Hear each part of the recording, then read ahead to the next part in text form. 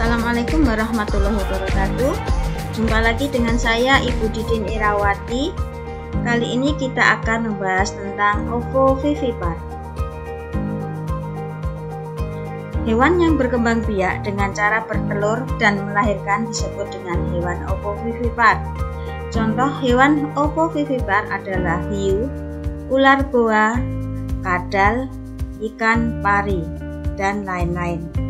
Embrio dibungkus oleh cangkang telur. Telur tetap bertahan di dalam tubuh induknya hingga menetas.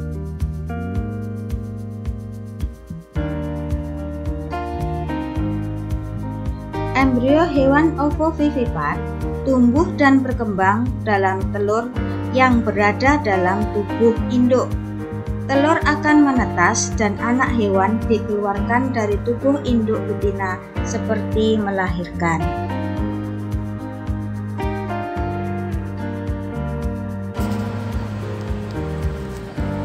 Berikut ini beberapa contoh hewan ovovivipar dalam melahirkan bayi-bayi mereka.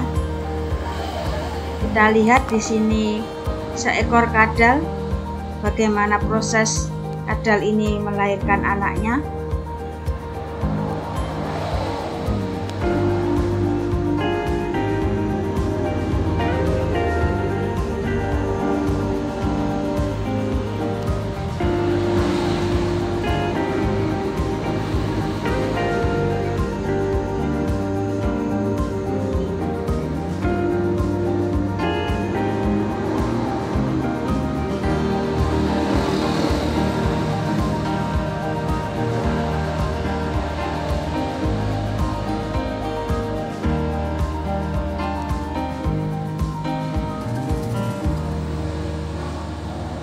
Coba perhatikan anak-anak, itu anak kadal sudah mulai bergerak-gerak keluar.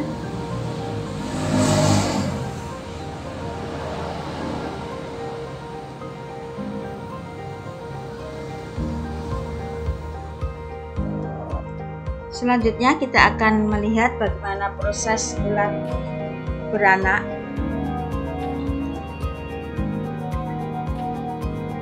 Sebagian ular ada yang berkembang biak dengan cara bertelur atau ovipar dan ini adalah contoh dari ular yang berkembang biak dengan cara ovovivipar yaitu bertelur dan beranak.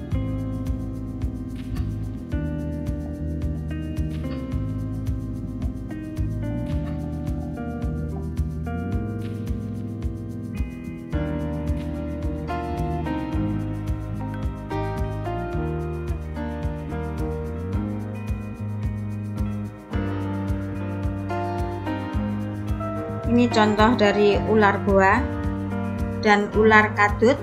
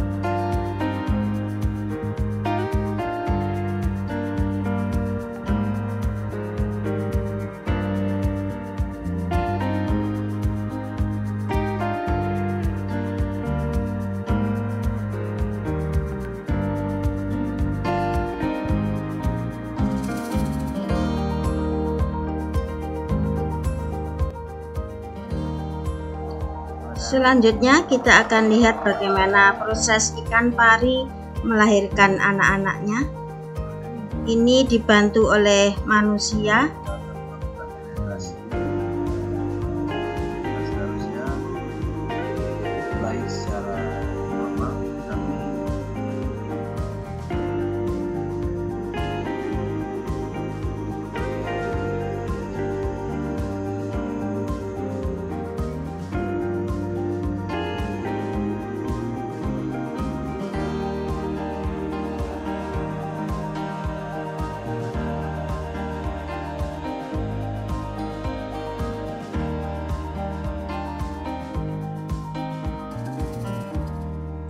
Ikan pari ini biasa kita sebut dengan ikan P anak-anak ya, yang biasa dimasak pakai sayur santan pedas.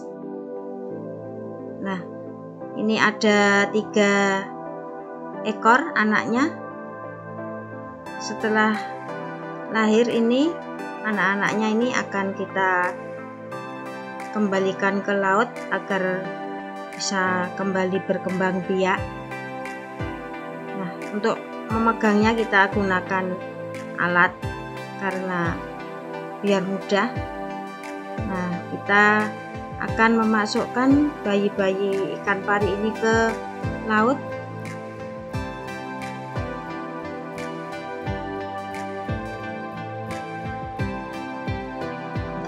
Selanjutnya kuda laut.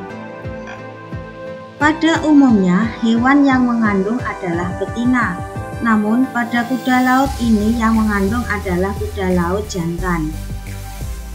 Pada proses perkawinan, kuda laut betina akan mendepositkan sel telurnya ke kantung si jantan. Itu karena si jantan mempunyai kantung dengan organ yang sangat kompleks yang mampu mengatur suhu serta salinitas air hingga bayi-bayi mereka siap dilahirkan ke laut. Selama 45 hari, si jantan akan berinkubasi sebelum mereka berkontraksi saat melakukan persalinan. Nah, anak-anak, demikian tadi cara beberapa hewan ovovivipar dalam melahirkan anaknya. Sekarang coba sebutkan hewan ovovivipar yang ada di lingkunganmu. Coba diskusikan dengan orang tuamu.